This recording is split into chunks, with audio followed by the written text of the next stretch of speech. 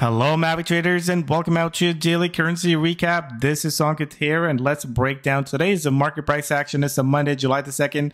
Let's talk about what's happening in the markets here by looking at broader market analysis, take a look at currency baskets, look at any major news reports, and then lastly, take a look at some possible setups ahead. Let's get into it. Disclaimer. This video was created for professional stock and option traders. Maverick Trading is a proprietary trading firm that employs professional traders around the world.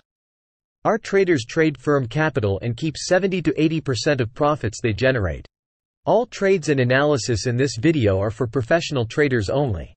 If you are interested in becoming a professional trader for Maverick, click the apply button in the video description. Let's break down what happened today.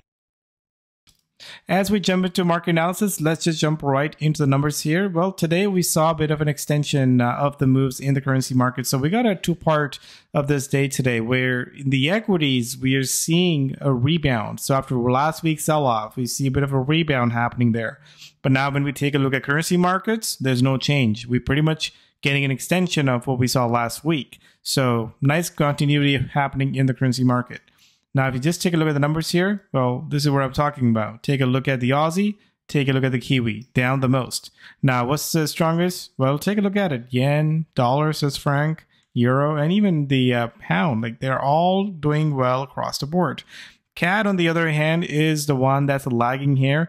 Uh, but remember, we have Bank of Canada statement on Wednesday. So that's really where there's a lot of pressure because they're expecting to cut rates. So the CAD's not doing much. But outside of that, this is exactly how the board looked when we look into the currency room. So no change there.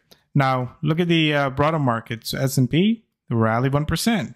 Uh, World Stock Index rally 1%. Crypto's down 1%. Gold's flat and oil is down. So you can see that there's a rebound happening in the equity markets there. So that's really where we are. But we'll have to take a look at this and see if this rally is going to hold. Now, in the crypto market, you can see uh, we're seeing the uh, Bitcoin being flat, but everything else sort of down here. So, uh, typical crypto price action, you know, not really having a lot of continuity here. Now, let's just jump into our uh, market outlook here. Well, the scoring wise, where do we stand here? So you can see that we were we dipped below the 20 moving average, and then we quickly rebound above it. So we went from a negative on this uh, 20 SMA to now a plus one. So we just had to really, um, you know, keep this in mind that we had a tremendous run.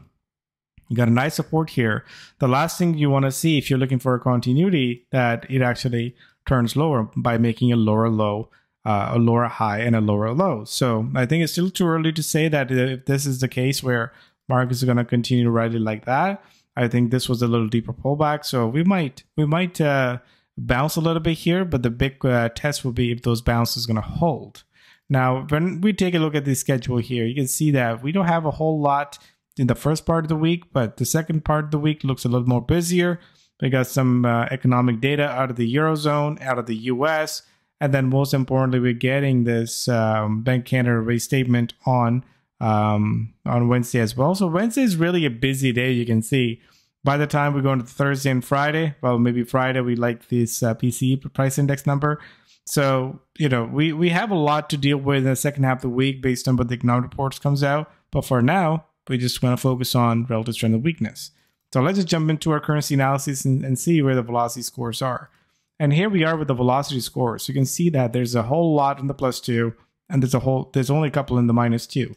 Remember, we want to pair the best versus the worst. So, you know, pairing uh, euro against Swiss franc or pound against the dollar, like we're not really getting a big movements here but the only movement that we are having here is anything comparing with Aussie and Kiwi. That's where the continuity is happening. So we'll continue looking those, those trades there. So let's just jump into possible trades. Do you want to be a professional trader? Maverick Currencies is the oldest US based Forex and crypto prop trading company that will pay you for trading with our capital. Trade our capital and keep 70 to 80% of the profits. We are looking for traders just like you that are hardworking and motivated. Click the apply link on the top right of this video to see if you have what it takes. That link takes you to a 4 minute video that explains the trader position available, and you read a list of FAQs that answer pretty much all the basic questions you have at this point. After watching the video and reading the FAQs, If you're interested, fill out an application, then you'll watch the full length recruiting video and then schedule an interview with one of our traders. Are you our next trader? All right, so here we are in the possible trades, and you can see that this is the one, the Aussie dollar was my favorite one that I talked about in the currency room, and this thing has fallen very nicely. So again, this is where I love where you know you get the move and you just start to get that continuity. It broke lower, it broke lower, and here we are. I know it looks extended on the RSI.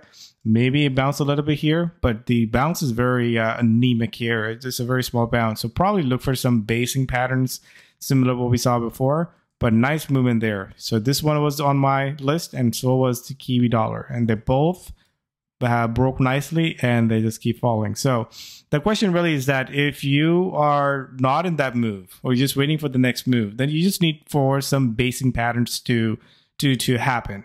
And if you just take a look at it, Aussie dollar, Kiwi dollar, they look extended. I don't, you know, I don't love to enter here. If you're looking for a new entry, I would rather look for some basis or some bear rallies. But where how we are closing out the candles today, let's take a look at currency baskets. They are either cl- uh, closing at where the highs of the day or the lows of the day. Pound is rebounding, the euro is rebounding, or euro is actually breaking out. Swiss franc is basing here pretty much, so don't want to touch that. Still pretty strong. Dollar is rebounding, and even the yen trade. Remember, I talked about how you got to keep a close eye on the on the yen, and I must say that this is surprising me that even with that big rally here, it's continuing that extension. So unlike before, where it rallied and pretty quickly rolled over, rallied pretty quickly rolled over, this thing is still rallying. So I don't love the yen short here. I think this is showing relative strength, and until we start to see that strength uh, start to sell off, we don't want to be touching that. So, so again, if you take a look at the setups here, aside from the uh, dollar crosses, even Aussie yen, you know that's a beautiful turnaround that's taking place as well.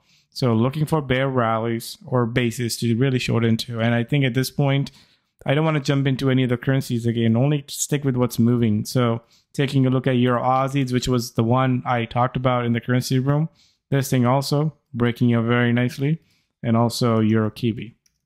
So the my outlook really hasn't changed based on today's close. Everything is sort of in that continuation pattern. So this is the time where you just look at relative sort of weakness.